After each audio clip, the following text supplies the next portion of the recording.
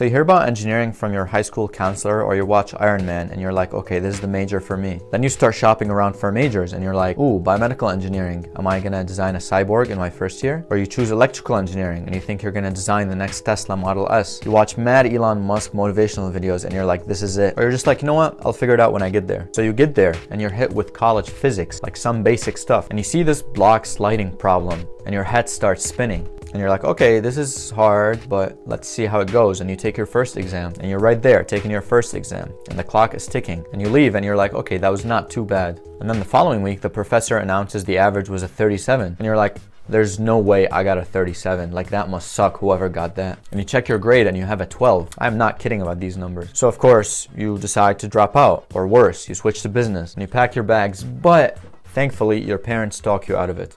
All right, so you're back into engineering school. And okay, you do survive the physics and the calculus and you're like, okay, what's next? Now is the time to innovate, right? Well, not too soon. You first have to spend countless hours doing more problem sets and you're probably gonna spend long hours waiting for the TA's office hours and it's barely gonna help. But now you get to the important stuff and you decide you want to get an internship. So you mentally prepare yourself for all the rejections you're anticipating and you decide to apply online and you fill out like 50 applications and like only like two recruiters reach out and one of them ghosts you. And comes graduation and you're like applying for a job and then same thing is happening. So you ask yourself, what went wrong? What was I sold? Is this really what engineering is about? And this is really the biggest problem for engineering school is I feel like the students are not mentally prepared for what's about to happen. This is especially true if you're not going to like some top school where they just magically match you with opportunities. If you went to a local state school like I did, man, it was brutal. And there is light at the end of the tunnel. I mean, right now I get to work on very cool, innovative stuff. But before I had to get there, I had to eat a lot of dirt. In other words, I had to go through like the hundreds of application rejections I had to go work for free. I had to go like volunteer as an undergraduate researcher to get experience. And engineering school overall is just a lot more brutal than what most people think. And again, it's not just a matter of difficulty or rigor. It's just a matter of you're not psychologically prepared to go through something like that. And that's why it's so easy to weed people out because if you're not in the right mindset and if you're gonna quit at the first challenge, then yeah, it's gonna suck. And there's nothing wrong with quitting if you just decide I'm not interested in this at all.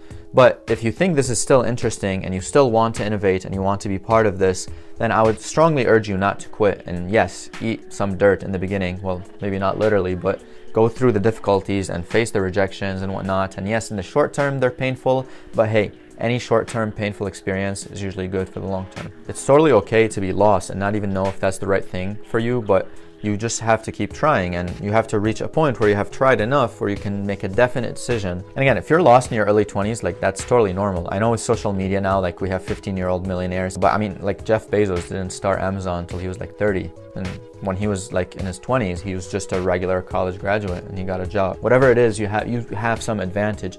You just have to tap into it. You're fine. Just keep trying. Please do not quit. We need engineers. We need people who innovate. And the good news is once you graduate, you don't have to work right away. Like if you still want to explore a bit more or learn some more things, uh, you can definitely go to graduate school and or you could do like me and pursue a PhD. And I made a video about why I pursued a PhD in engineering. So you should check this video about why I pursued my PhD in engineering.